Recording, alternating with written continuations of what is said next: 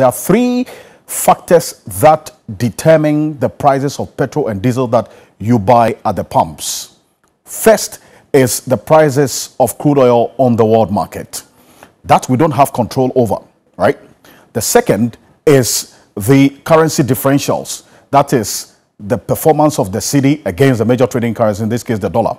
The Bank of Ghana has made a number of interventions by releasing a lot more dollars to the BDCs to import the finished products. We'll see how that would impact on the situation ahead.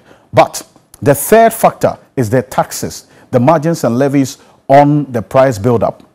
When you go to the pumps to buy a liter of petrol or diesel, you have a number of taxes on that one liter.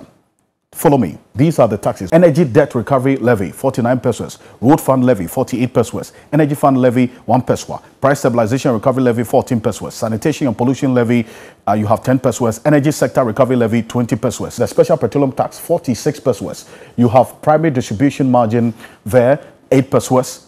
If you add all the pesewas to it, the quantum effect, the total taxes and levies on one liter of petrol or diesel is 4 cedis 64 pesewas. Now, currently, the price of fuel, that's petrol, is on average 10 cedis, 10 pesewas.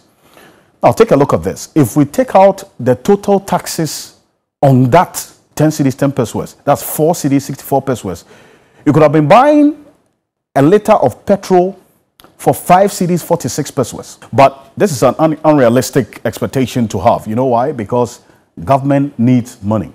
Government needs money, so you're not going to have all the taxes and levies being scrapped. In this country, we measure one gallon, that is one gallon of petrol or diesel by 4.5 liters.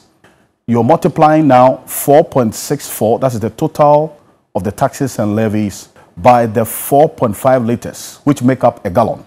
The total is 20 cedis, 88 pesewas. Some have called for a review of some of these taxes I just, I just ran through. As to whether that's going to be considered by government, we're yet to see.